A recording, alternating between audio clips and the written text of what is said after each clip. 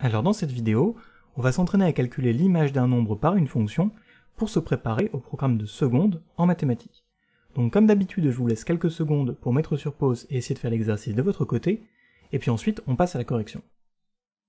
Donc ça devrait être bon, on nous dit la fonction g est définie sur l'ensemble des réels par g de x est égal à x au cube plus 3x moins 4. Par la fonction g, quelle est l'image de petit a 0 Donc l'astuce, ça va être de remplacer x par 0 à chaque fois que l'on retrouve un x dans notre fonction. Donc très concrètement, ça nous donne, pour le petit a, la fonction c'est maintenant g de 0, on a remplacé le x par 0, c'est égal à 0 puissance 3, plus 3 fois 0, moins 4. Donc toute cette partie-là, elle va être égale à 0, 0 au cube c'est toujours 0, et 3 fois 0 c'est 0. Donc 0 moins 4, ça nous donne tout simplement moins 4. Et c'est la réponse à notre petit a. Ensuite, petit b. On a 2 tiers. Donc notre fonction, c'est g de 2 tiers. Et même principe, à chaque fois que l'on rencontre x, on le remplace par 2 tiers. Ça nous donne 2 tiers le tout au cube, plus 3 fois 2 tiers, moins 4. Alors 2 tiers au cube, on multiplie à la fois le numérateur et le dénominateur 3 fois par eux-mêmes, donc ça nous donne 2 fois 2 fois 2 divisé par 3 fois 3 fois 3.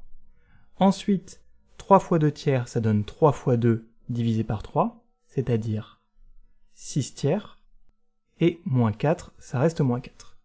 Donc 2 fois 2 fois 2, ça fait 8, 3 fois 3 fois 3, ça donne 27. 6 tiers, on peut le simplifier, ça nous donne simplement 2. Et on a toujours moins 4. On va juste rehausser un petit peu ça pour avoir plus de place. On peut traiter déjà cette partie. 2 moins 4, ça nous donne moins 2. Donc on a 8 sur 27 moins 2. On va devoir remplacer notre moins 2, le faire passer en 27e. Donc moins 2, ça nous donne moins 54 27e. Alors on va passer là-haut, ça donne 8 sur 27 moins 54 sur 27, ce qui nous donne moins 46 sur 27. Et c'est le résultat de notre petit b. On passe ensuite au petit c, qui est la fonction g de 2.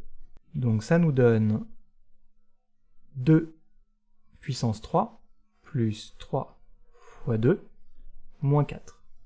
2 puissance 3 c'est égal à 2 fois 2 fois 2 c'est égal à 8 plus 3 fois 2 c'est égal à 6 moins 4 c'est toujours égal à moins 4.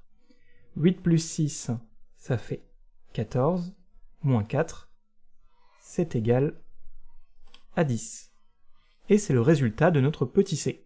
Donc on en a terminé avec cet exercice, j'espère que ça aura pu vous aider. Si c'est le cas, n'hésitez pas à laisser un j'aime et à vous abonner, et puis on se voit dans une prochaine vidéo.